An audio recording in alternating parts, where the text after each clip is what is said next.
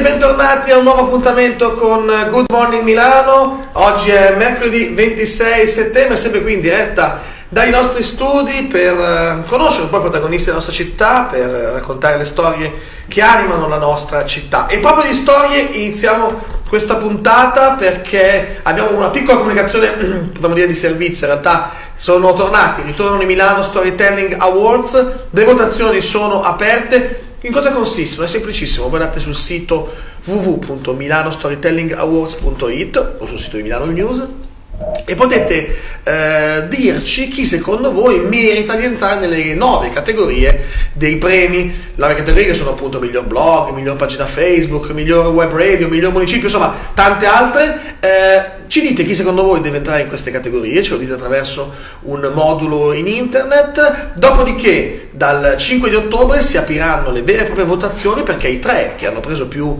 eh, proposte in questa prima fase entreranno nella nomination, nelle nomination finali. Si voterà, si voterà fino a fine di ottobre e poi metà novembre ci ritroviamo tutti quanti per una grande serata di gala, un po' gli Oscar della città di Milano, un po' gli Ambrogini della gente comune, ci ritroveremo per dare questi premi. Per capire meglio cosa sono però, vedete questo piccolo filmato.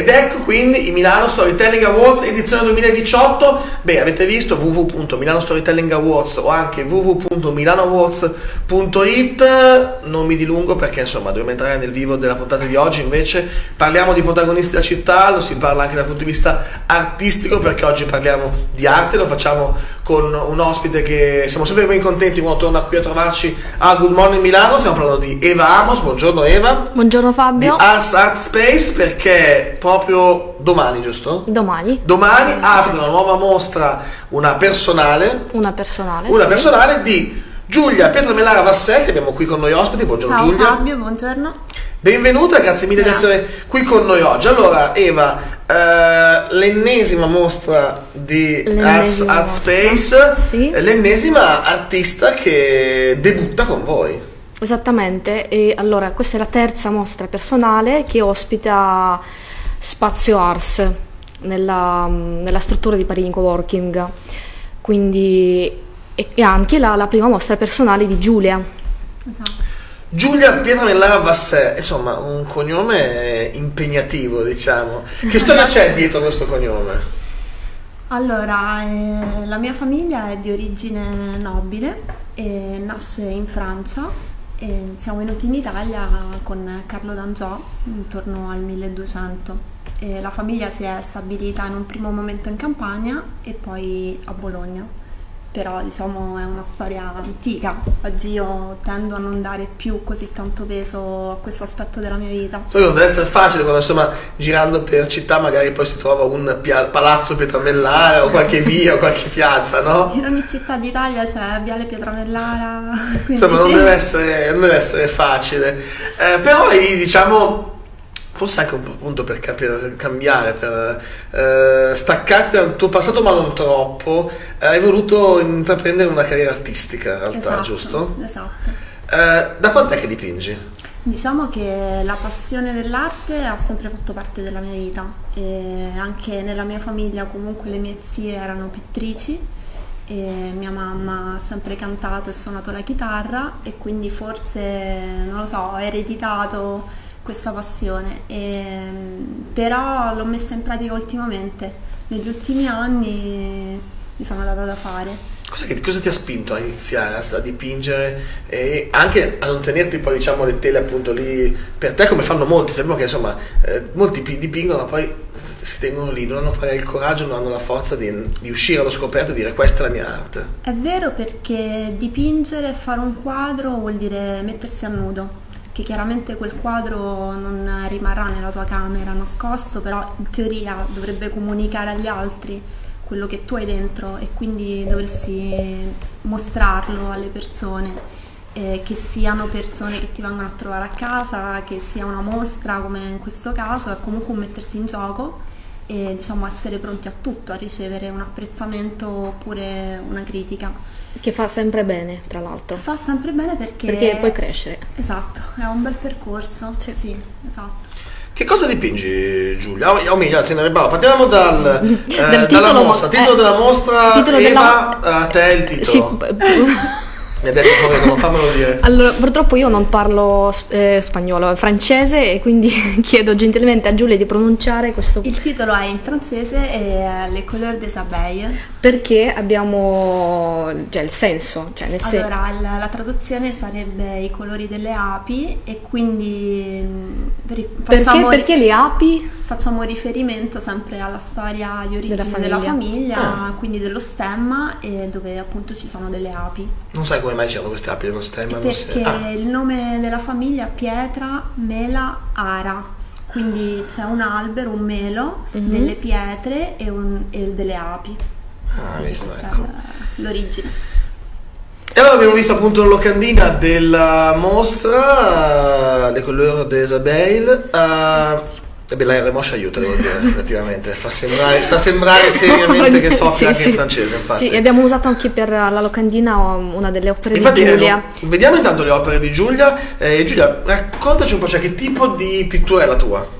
Eh, la mia è una pittura definita astratta, eh, ma è una pittura distinto. Io dico sempre che tiro fuori quello che c'è dentro di me, quello che c'è nel mio animo e non è razionale, non è ragionato, è semplicemente un'espressione interna. E spero di comunicare cose belle o comunque emozioni. E so che l'astrattismo può essere molto amato o non. E quindi ci sono due tipi di impatto di fronte a un quadro astratto. Il primo è visivo, quindi non so, ti piace, non ti piace. Il secondo è emotivo, psicologico, uh-huh. quindi può scatenare un'emozione, ti può comunicare qualcosa. Io vorrei arrivare a questo. Che tipo di tecniche usi? Perché ho visto, insomma, sono quadri, eh, hanno un filo conduttore, sono sicuramente i colori, questa sì. istintività quasi, no? Appunto questa mm-hmm. irrazionalità. Però mi sembra di vedere diverse tecniche, cioè non mi sembrano tutti fatti a sa maniera, o sbaglio? Eh, diciamo che mi piace sperimentare. mi piace sperimentare, quindi uso i colori acrilici, uso i colori a olio. E... e un po' di materiale, ho visto qualcosa di tipo sabbia o... Sabbia, pietre, pietre esatto. gesso, mm, sì. diversi tipi di paste, di pennelli, sì. di spatole quindi mi diletto un pochino con tutto quello che riesco a trovare. È sempre una, una strada aperta, ecco, c'è sempre un esperimento comunque. Tu quando prendi la tela non sai cosa esce fuori esatto. poi. Io non cioè, so... Questo è bello del quadro. Ecco, appunto, che cosa dobbiamo aspettarci da questa mostra di mm, Giulia? Tu le hai viste tutte le opere, so che avete già finito. Certo, certo. L'allestimento, cosa dobbiamo aspettarci? Allora, uh, volevo dire una piccola cosa sulla, sulla mostra eh, con Giulia ci siamo conosciute a maggio, giusto? A Roma. Esatto, sì. E, e lei mi ha fatto vedere un po' di opere sue. Uh-huh. E quindi abbiamo iniziato a pensare del progetto, abbiamo definito il titolo e, e tutte altre cose e ovviamente mancavano ancora dei quadri. E Giulia ha iniziato a fare i quadri nuovi. E mentre lei mi mandava le foto delle, delle, opere nuove ho visto il cambiamento del, dello stile dei, dei, quadri. Ed è un, ed un per- percorso artistico. E questo è il bello nell'arte e adesso eh, posso dire che, ma sa anche Giulia, che i quadri che sono ultimi che ha, che ha fatto sono molto più belli, più profondi, più ricercati di quelli di prima. Quindi le mostre che, che fanno i pittori non fanno solo per, cioè, per mettere ok ho fatto la mostra, ma anche a fare un percorso artistico, anche per crescere. E noi uh, abbiamo messo i titoli dei, dei, dei quadri, e Giulia mi ha detto, però questi quattro quadri non so come, come chiamare. Allora facciamo così, mettiamo la, la, la lista bianca e spettatori devono inventare i titoli, ah. possono, possono, possono, mm, pensare loro di, di, quello che vedono. Cioè, mm-hmm. Questo secondo me è molto molto interessante come, come idea. Avremo, avremo, se chi viene alla mostra avrà anche quattro quadri sì. da nominare. Diciamo. Sì, possiamo fare, anzi facciamo un concorso magari, cioè della, del titolo migliore dei quadri e così avrai già quattro titoli pronti. Sì, anche poi se un concorso poi dai qualcosa di regalo, questi voglio di quadri poi, quindi non va bene, attenzione a questo. No, no, facciamo un altro, ah, non so, un, un premio. Di vino. Eh. Un bicchiere di vino in più di quelle che già Evamos vi offre. Tra, firmato ogni... dall'artista. Firmato eh? dall'artista, va bene, ok. okay. Insomma, diciamo che Evamos... Eh, sono belle le inaugurazioni anche perché comunque eh, perché c'è anche la musica? poi c'è la musica c'è da bere c'è da mangiare. Eh, che musica cosa abbiamo questo? Allora All... con calma iniziamo bene spiegami bene allora. Eh, domani? Domani alle 19 alle 19 okay. iniziamo e abbiamo cambiato un po' il format della, della okay. serata che secondo me potrebbe funzionare meglio. Allora alle 19 iniziamo con calma però iniziamo dalla musica, mm. perché c'è la, la, musicista, la giovanissima ragazza che ha 19 anni, che si chiama Marta Frigo, che uh, fa um, la musica jazz e canta. Uh, e poi verso, verso, le 8 iniziamo la presentazione ufficiale con te, con Giulia, mm. e poi finiamo con la musica. Perfetto. Quindi insomma una serata di quelle che chi è abituato a venire allo spazio Ars sa cosa si può aspettare, però con molta più musica, che tipo di musica? Jazz, eh, jazz. jazz. musica jazz, avremo sì. la possibilità di ascoltare e di vedere quante opere Giulia hai portato? Eh, 15 opere. 15 opere? Quante di queste sono proprio fatte apposta per questa mostra? Tutte 15? Eh, ma in realtà quasi tutte. Sì, sì, quasi tutte. Quindi riusciremo proprio a vedere questo percorso di avvicinamento. Dicevi eh, da maggio che eravate. Da maggio, quindi, sì, insomma, sì, da maggio che hai saputo di dover esporre qua a Milano. Eh, quanto è importante per un artista emergente esporre a Milano? Sicuramente Milano è una piazza importante, come sappiamo è una delle città più famose del mondo per quello che riguarda il marketing e il business.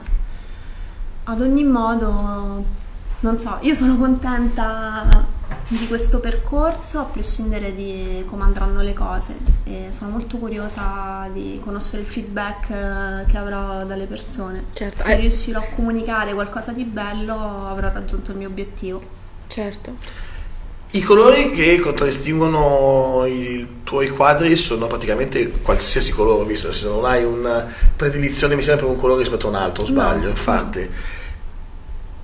Che cos'è che ti porta appunto ad avere in mano un colore rispetto a un altro quando vai a fare eh, l'opera? In realtà quando mi trovo di fronte alla tela mm, c'è da dire che a me piacciono le tele molto grandi okay. perché è come se io avessi tanto spazio e quindi libertà di dare sfogo a quello che vorrei fare anche se io non ho un'idea precisa cioè non so cosa andrò a creare, quindi nel corso della creazione diciamo che scelgo i colori, mm, guardo il quadro, se mm, mi piace, se provo mm, un'emozione positiva nel guardarlo, allora vuol dire che sono nella strada giusta. Quindi in base a quello poi mi muovo per la scelta dei colori. Sì. Poi, eh, come hai detto tu, eh, dipende tutto da, da, umore, da quello esatto, umore che hai, sì. dal tuo stato d'anima, ma secondo me è bello anche avere magari qualcosa di nostalgico, di triste dentro e, e quando tu dipingi, cioè, esce tutto fuori e ti senti, ti senti meglio. Può essere anche qualcosa di, di malinconico, ti tieni dentro e, e, i colori giustamente sono più freddi Appunto magari. che parlavi di malinconia o di emozioni, mi è sembrato di vedere, però non sono sicuro guardando i tuoi quadri, sono quasi tutti con sfondo scuro, sbaglio?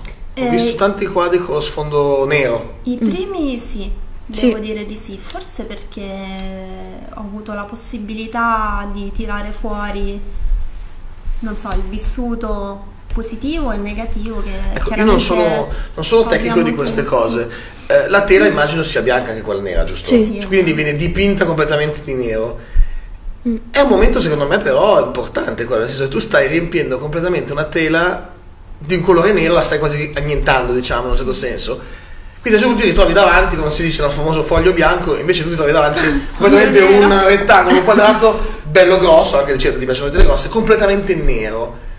E poi tu gli dai vita invece con una moltitudine di colori, abbiamo visto un'esplosione di colori. Cioè, lì è proprio un discorso di emozioni e di sentimento del momento? È molto bello quello che mi stai dicendo perché hai colto bene una, un aspetto fondamentale.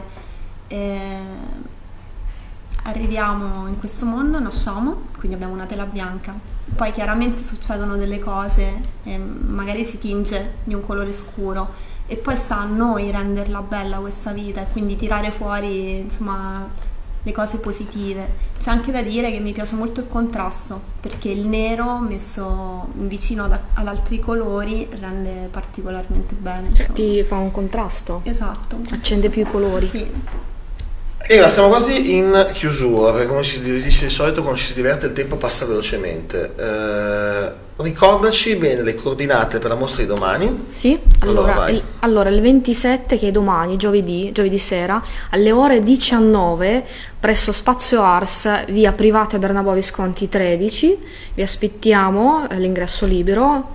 Uh, volevamo dire anche sulla mostra che, che facciamo a dicembre dove allora, partecipa perché Giulia. so che infatti so che Giulia, eh. allora, questa è la sua prima personale, però so che sì. in realtà è reduce da una mostra che è ancora in atto in questo momento. Sì, sì, sì, ancora Venezia, in corso, a Venezia, okay. sì, sì, Artescape, sì. E so che però l'hai come al solito quando sai che quando poi tu prendi i tuoi artisti i coccoli li porti in giro per le varie mostre che organizzi. So che sarà quindi presente anche sì, a alla, dicembre. sì, raccontaci un attimo allora questo progetto di dicembre. di dicembre. allora a dicembre facciamo una mostra dedicata alla città di Milano. Milano ti amo in tutte le lingue del mondo dal 4 al 6 dove coinvolgiamo 50 artisti internazionali emergenti tra quali c'è anche Giulia Vassè e la mostra verrà presentata da un critico, noto critico uh, italiano, Vittorio Sgarbi, presso l'Ambretto Factory. In zona Lambrate e via Ventura, sì. giù quella zona di zona Ventura. Uh,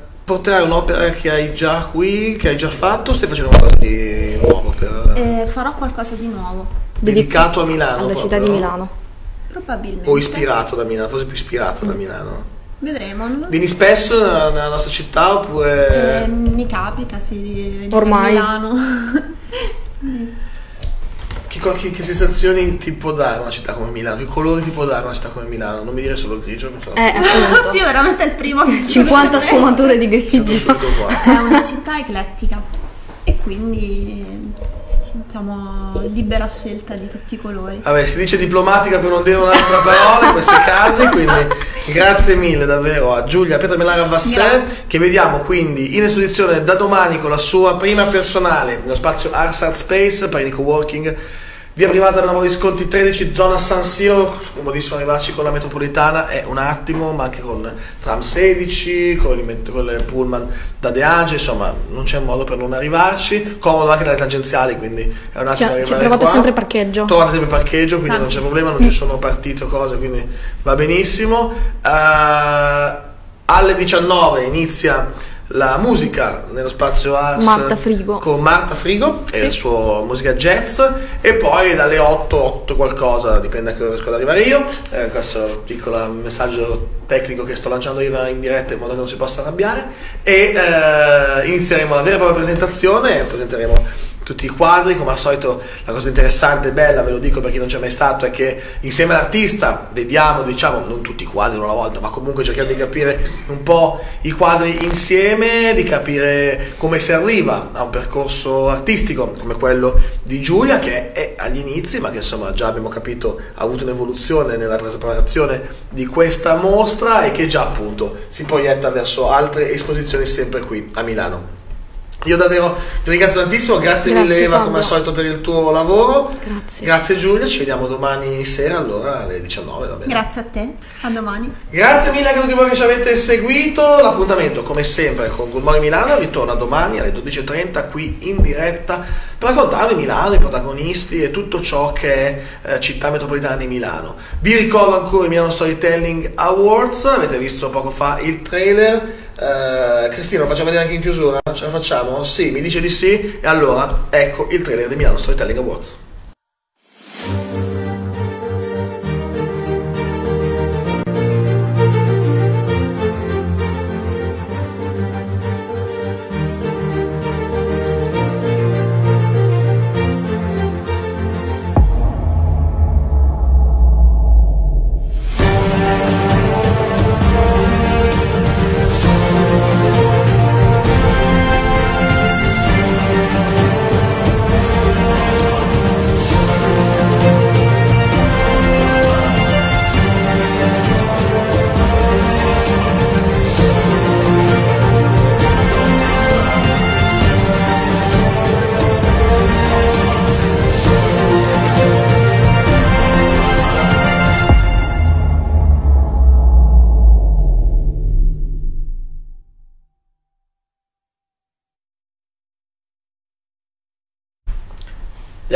Avete visti? Questi sono i Milano Storytelling Awards, nove categorie, potete dirci voi chi deve rientrare in queste nove categorie per poi essere votato come i migliori raccontatori, diciamo appunto, storytellers della città di Milano. Io vi ringrazio ancora, ringrazio ancora le mie ospiti Grazie. di oggi, vi ricordo domani sera di venire allo spazio Arsa Space per la mostra di Giulia, grazie mille, arrivederci, a presto.